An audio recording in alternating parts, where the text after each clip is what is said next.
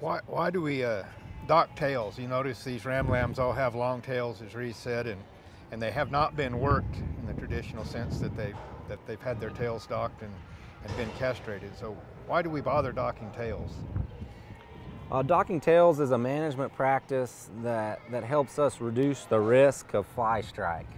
Um, these animals do have a tail, but it's not near as functional as, say, a, a, beef cow's tail where they can swat flies. They don't have the mobility with it.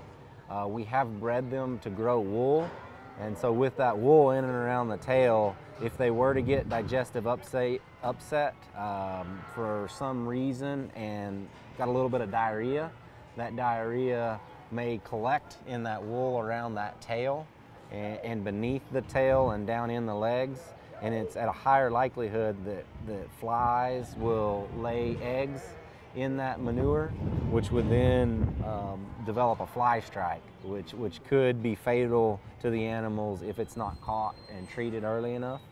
So often uh, females will be docked towards the end of the caudal fold, which takes off the lower part of the tail, but leaves enough tail there that we don't compromise the uh, integrity of their um, of, of the rectum so we don't get any prolapses and other adverse things that would come from, from uh, short docking of the tail. Basically helps helps us with the wool quality and helps them be more comfortable should mm -hmm. environmental conditions yeah. turn into a fly season or something. We've got here a, a group of animals that have been let go past um, when we would normally shear the animals on an annual basis, it looks like they've got at least a year and a half, if not two years worth of wool.